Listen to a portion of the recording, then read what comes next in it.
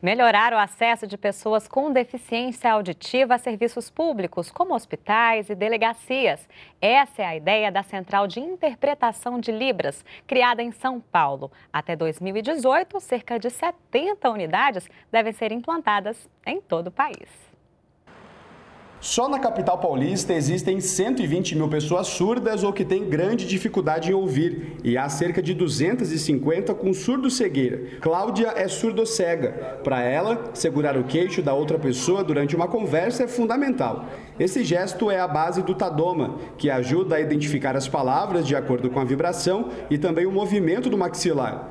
Desde setembro, serviços especializados como esse são oferecidos de graça aos deficientes auditivos, surdos e surdos-cegos que utilizam serviços públicos na cidade de São Paulo. É que foi inaugurada a Central de Interpretação de Libras, CIL.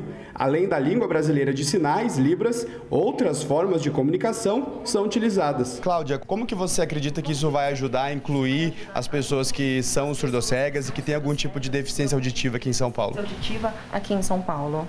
Eu, junto com o intérprete, é fundamental porque ele vai passar para mim, ele vai descrever, ele vai interpretar, ele vai descrever, ele vai interpretar, ele vai guiar para que a gente possa ter melhor acesso nas informações. Já Eulália precisa da fala ampliada para se comunicar. É assim, direcionada e bem pertinho do ouvido. Você aprova a criação da CIL, de que as pessoas possam ter um acesso mais facilitado a esse serviço? Acesso facilitado a este serviço? Com certeza, nossa, assim, vai ter um grande ganho para as pessoas tudo cegas, principalmente essas que não têm uh, um familiar que mora sozinho, que precisa estar indo ao banco, ao médico principalmente, é uma grande vitória. A Central Sil já atende de maneira presencial quando o usuário vai até a sede da central no centro da cidade e ali mesmo recebe a ajuda do intérprete e também em loco. Aí a pessoa pede que o intérprete vá junto até a sede de algum serviço público. O investimento na Central de São Paulo é de quase 7 milhões de reais.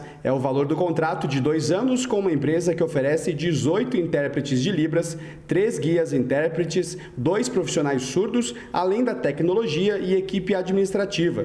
Até o final do ano, os serviços da CIL também vão estar disponíveis em qualquer dispositivo que tenha acesso à internet, como computadores, tablets e até pelo celular. A Prefeitura de São Paulo comprou uma tecnologia sueca e o Brasil se torna, assim, o 15º país do mundo a utilizar esse tipo de serviço. Dá total autonomia para pessoas surdo-cegas, as pessoas com deficiência auditiva e os surdos.